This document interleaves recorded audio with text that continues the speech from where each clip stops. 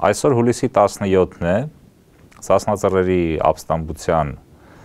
5-րդ տարեդարձը 2016 թվականի հուլիսի 17-ին Սասնածռեր խմբավորումը զինված ապստամբություն բարձրացրեց եւ կոչով դիմեց ժողովրդին միանալու ապստամբությանը հրճակելով որպես հիմնական նպատակներ ռեժիմի հերացումը, հիմնականում Արցախի օտարումը, Արցախի վաճառքը խափանելու նպատակով։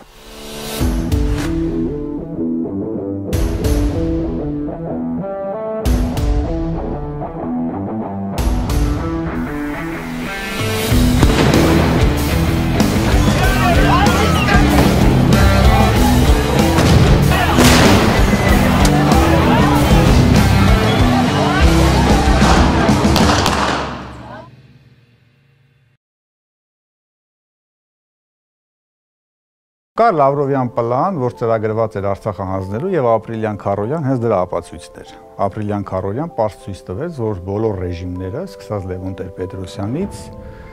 ինչպես որ Տեր-Պետրոսյանը Հայաստանի հաղթարշավը կանխեց, այդպես էլ շարունակաբար Քոչարյանով Սերժ Սարգսյանը փորձում էր նաև արդեն կապիտուլացնել։ Դες ծրագիրը միանշանակ կողմնորը արդեն պատրաստված էր, հələ այդ խոսակցությունները, որ գնում էին Մեղրի Քոչարյանի ժամանակ դա սկսվեց շրջանառության մեջ դրվեց, ես շատ լավ հիշում եմ, ու հիշում եմ, որ ժողովուրդը բավականին այնց դժվար էր անցալում այդ ամեն ինչը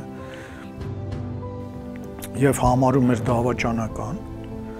ու հետագայում արդեն ոնց որ ասած դե Քոչարյանի գնալուց հետո մանավանդ մարտի 1-ը միշտ ինչ որ որ մի ֆորս մաժոր լինում է, մարդկանց շեղում է այլ խնդիրներից, էլի։ Այդ մեղրի հարցը տենց մնաց օթի մեջ,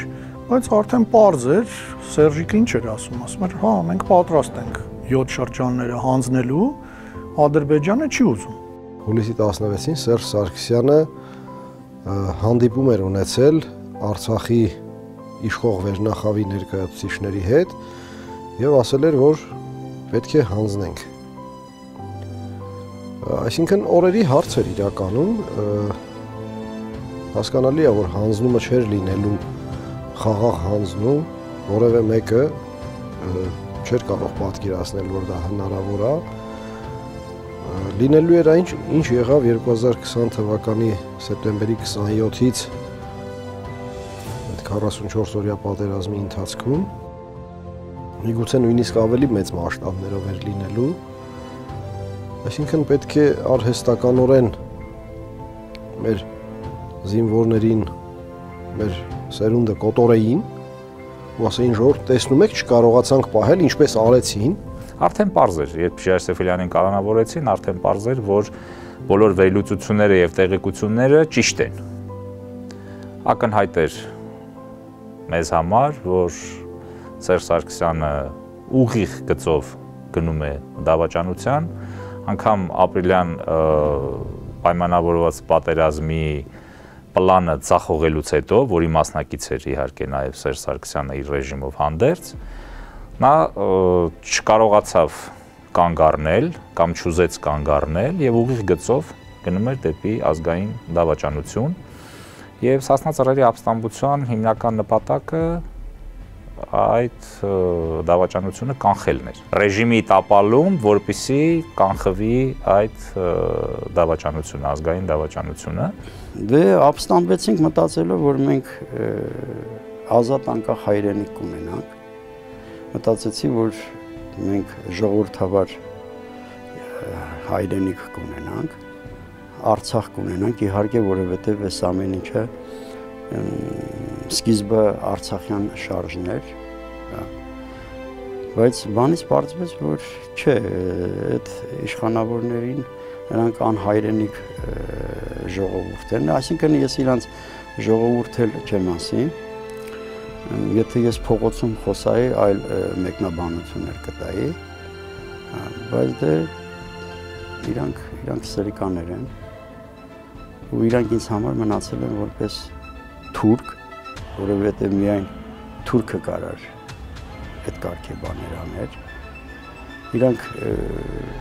հայրենիք չեն ճանաչում ինչ բանա։ Իրանց համար անձնական շահը հարուստ լինելը, ժողովրդին ճնշել, կեղեքել։ Պետականություն չկար, օրենք չկար, դատավարություն չկար, չգիտեմ այնտեղ մի խոսքով ամեն ինչը տակնու վրա էր։ Իսկ ինչ պետքա անեի ես ազատ անկախ ապրելու համար։ Մի մարդու համար, ով որ ինքը փորձել է հայրենիք ունենալ։ Ապստամբությունը սիրուց դրթված վիճակ է. հայրենիքի նկատմամբ, ընկերոջդ նկատմամբ, արվեստի նկատմամբ դա վիճակ է, դա զգայական վիճակ է։ Մենք գողության ավազակության չէինք գնացել։ Մենք չգիտենք մեր անունի հատուկ մեր անունի կամ մեր ապրելակերպի համար չէինք արել։ Դա մենք համազգային քայլ էինք արել որի պատասխանը մենք ապստամբությունից հետո մենք տեսանք ժողովուրդը ինչ ողջավորությամբ կանգնած էր։ Այն ժամանակ կարծես թե բացի սասնածառերից ոչ մեկ գոյություն չուներ։ Համաշխարհային պատմության մեջ չի եղել նախադեպ, որ ահաբեկիչներին ժողովուրդը ոդկի կանգնի ու սկսի սատարել, երիկ չի ելեմի հատել հաց ու ջուր բանանի, որ տանենք տղաները այնտեղ սոված ծառավ չմնան։ Դա աննախադեպ բան է։ Այսինքն դա խոսում է, որ այդ մարդիկ ոչ թե ահաբեկի չեն, այլ ապստամբներ են, ու այն ինչը որ անում են, անում են ժողովրդի սրտով։ Եղավ այն ինչ եղավ, այսինքն մենք տեսանք եւ ժողովրդի ակտիվ հատվածի փողոցում գետնի վրա աջակցություն, հրաապարակներում աջակցություն, տեսանք, որ Հայաստանում չկա մեկ մարդ BBC-ի հարցումներով, որ բացական կերպով վերաբերվի սասնածռերի ապստամբությանը ժողովուրդը այդ ժամանակ հենց կայացրեց իր դատավճիռը, արտոնելով լեգիտիմացնելով այդ քայլը եւ ասելով, որ ուրիշ տարբերակ այդ պահի դրությամբ չկար։ Ու միակ տարբերակն էր ազգային աղետը կանխելու։ Հնարավորություն ստեղծեցինք հայկական ինքնիշխան պետականությունը վերականգնելու, որի արկայության պայմաններում բնականա որ չէր լինի հողերի հանձնում ինչպես եղավ, չէր լինի դավաճանական պատերազմ, պատերազմը լինելու դեպքում կլիներ հաղթական ավարտով նոր մեր հայրենի տարածքներից նոր տարածքներ ազատագրելով կավարտվեր։ Մենք այդ ողբերգությունը ունենալու էինք, եթե չլիներ այդ ապստամբությունը քանի որ դա տեղի չի ունեցել, մարդկանց իրականում համոզելը դժվար է, որ իրականում դա տեղի էր ունենալու բայց ստացվեց այնպես, որ այդ ողբերգությունը տեղի ունեցավ 4 տարի անց, արդեն Նիկոլ Փաշինյանի ձեռքերով, որը շուտով հանրությունը կհասկանա, որ նա նախկինների հանցավոր իրավահաջորդն է։ 18 թվականի այսօր արդեն հստակ կարող ենք ասել հակահեղափոխության միջոցով կամ ինչպես հաճախ ասում ենք չհեղափոխության միջոցով չեզոքացվեց այն արդյունքը, որ ձեռք էր բերվել Սասնածռերի ապստամբությամբ եւ հետո 20 թվականին մենք ստացանք այն պատերազմը, որ փաստորեն այդ հակայղպության պատճառով միայն հնարավոր եղավ 4 տարի հետաձգել։ Հնարավոր չեղավ կանխել ամբողջությամբ։ 4 տարի հետաձգվեց, բայց այդ 4 տարում ոչ մի բան չարվեց պատրաստվելու համար պատերազմի։ 4 տարի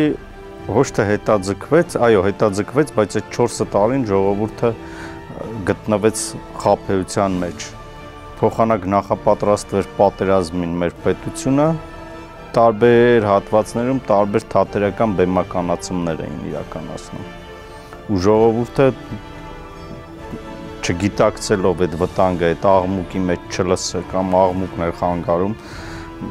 չմբռնեց այն ինչ ասվում էր իրան ու ստացանք այն ինչը ստացանք միայն պատերազմից հետո սկսեց կասկած առաջանալ մեծամասնության մոտ եւ այդ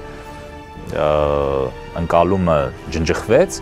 որ տեսակ դուք զենք եք բարձրացնում, իսկ Նիկոլ Փաշինյանը դատարկ ձեռքերով առանց արյունի արեց, խնդրեմ արյունը 5000 զո, այդքան 10000-ից ավել վիրավոր, վիրավոր հայրենիք, մասնատված հայրենիք, տրորված ազգային արժանապատվություն եւ շատ վատ հերանեկար, ընդհանրապես մութ հերանեկար, եթե այս ճանապարհը շարունակվի։ Այ դա էր Նիկոլ Փաշինյանի իբրև թե հեղափոխության, իրականում հակահեղափոխության անարյուն լինելու գինը։ Այս արյունը դուրս տվեց։ Ու այն ինչ հուշում էինք ժամանակին, ինչ այն ժամանակ ասում էինք, որ մյուս պատերազմը կլինի ավելի ծանր, ավելի մեծ կորուստներով, ավելի շատ զոհերով։ Այն ժամանակ դեռ մեր ասածը իհարկե չէր կարող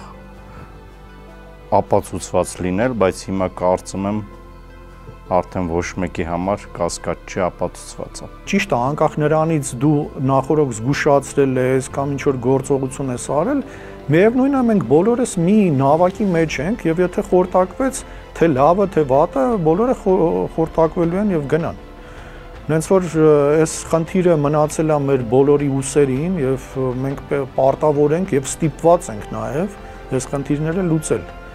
Նենց որ հիմա դա կլինի սասնածռերի շարունակություն կլինի, թե նոր ինչ որ երիտասարդություն կգա, Հա դրա պատասխանը հաց բերող Արթուրը հասկացավ եւ տվեց։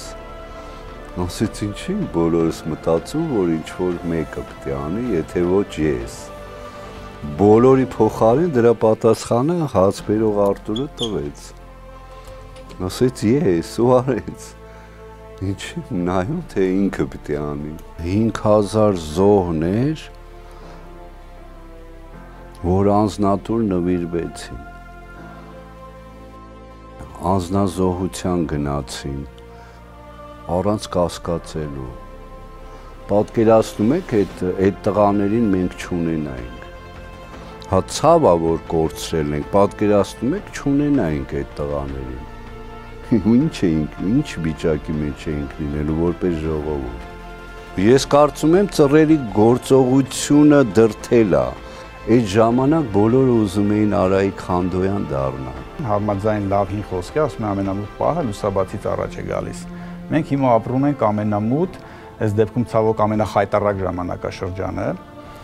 եւ արդեն իսկ ամենամուտ պահն է, որին հաջորդելու է լուսաբացի եւ արտաքին աշխարհի դրսեւորումները դա էլ ցույց են տալու։ Ի վերջո մենք ազատենք այս մակերեսային միջակություն իշխանություններից, որոնք իրավահաջորդն են նախկինների ինչպես որ ավակ սերունդը ինքը հիմա չի կարողանում իր գլուխը բարձր պահել երիտասարդների առաջ, որովհետև կիսատ թողեց Արցախյան հաղթարշավը, հավատալով քաղքենի 90-ականների իշխանություններին, այնպես էլ ցավոք այս երիտասարդությունը, եթե ինքը չսթափվի, չարտնանա, ինքը եւս սերունդների առաջ գլխիկոր է ման գալու։ Ի վերջո, եթե չունես հայրենիք, եթե վերջնականապես մենք մեր հայրենիքի 25%-ը առնվազն մեր տիրապետության տակ գտնվող հայրենիքի 25%-ը կորցրեցինք։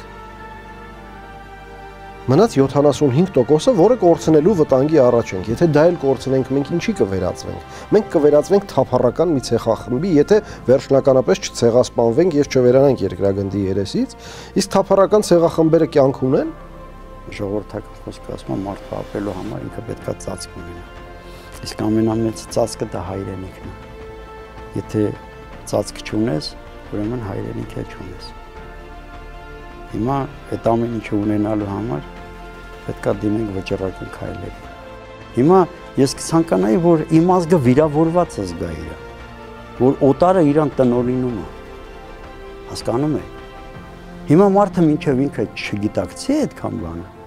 ինքը գործողությունների չի հանել, չի գնալ։ Այո, եկել է դրսևորվելու ժամանակը մենք պետք է մեր հայրենիքը վերադարձնենք։